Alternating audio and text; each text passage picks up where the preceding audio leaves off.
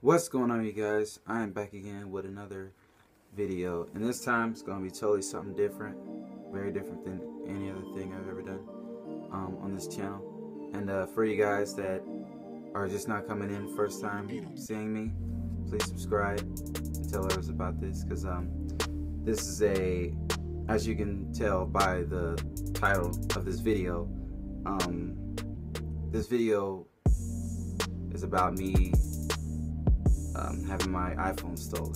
And um, yeah, it was a big thing for me. You know, I know this is like, this happened about way back when I was in high school still. Back in sophomore, yeah, maybe my, yeah, maybe my sophomore year. Yeah, this was back when I had the iPhone 4S and um, it was just brand new. It came out. I got it for my birthday that year, and that phone was meant a lot to me and everything. I know it's just a phone, but still, you know, it was my personal personal item, and I took good care of it and everything. And uh, just one day, it, it was just like, oh, gosh.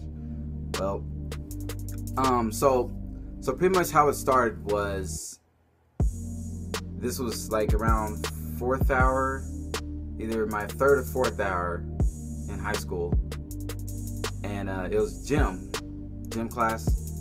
I took I took gym and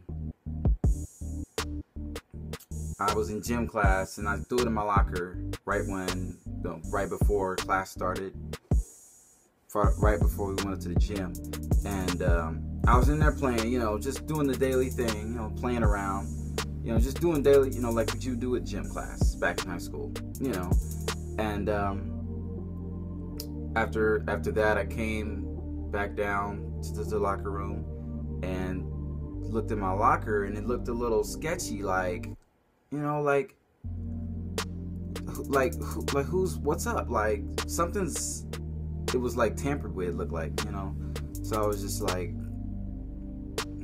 somebody messed with my locker, you know, like I looked around and everything, and I was just like, huh? So I, I managed to open it up and check my bag and, and uh, my backpack because I usually, like, I kind of hid it. I put it like where my backpack is, but like kind of like on the side, and I put some like some just like on the side, and I put some stuff around it to like hide it, and um, it was missing and uh, I was like, hold up. I was like looking around. I was like in almost in like I was shocked. I was I was really in shock. Like I was I was like like you know like what am I supposed to do? Like I don't have no phone. I'm walking around like looking around asking everybody, asking everybody, and nobody said they haven't seen it. Nobody. I was just like, man, like I missed a couple minutes. Like I, I missed like five or ten minutes of my next class because I was still in the hallway looking for it, asking for people, asking other people to look around for me and everything, see if they seen it at all. And nobody heard no iPhone still, stolen. I was like, oh man.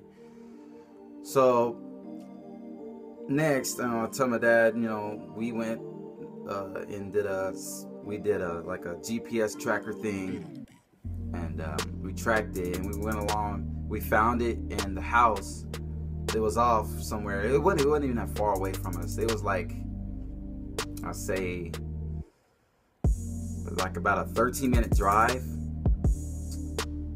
And they was out like kind of in the middle of nowhere. Um, we went there, stopped, and we got out. Well, I didn't get out. My dad got out to go knock on the door because we found the location of the house and uh, old lady answered and he was just he was just like hey um, my son you know got his phone taken do you know anything about it she told him that she haven't seen any phone her grandson or son haven't seen haven't seen a phone at all haven't done anything haven't seen anything so he told me that after he got in the car with me and then uh, he was just like you know, let's just, you know, let's just let it go. We'll turn it off. We'll go to Sprint and have them uh, turn it off for us and everything, just deactivate it. We'll get we get we'll get you a new phone. But yeah, I was just like, ah, it sucked. That that day sucked, and it's just man. I had so much stuff on that phone too, but you know, it got it all got deleted. You know, it's, it's all good now. You know, just move on and everything. You know, and uh, yeah. Long story short, you know, I learned to just not do that ever again. You know, I I kept it with me for the rest of that year when I got the new phone, and I made sure that it was always you know with me and in my sight, and uh, let no one, like rarely anyone, use my phone at all. So uh, yeah, um, if you guys like this story time, give it a thumbs up and let me know if you guys like would like these videos. And um, yeah please subscribe. I like see you guys next time. Later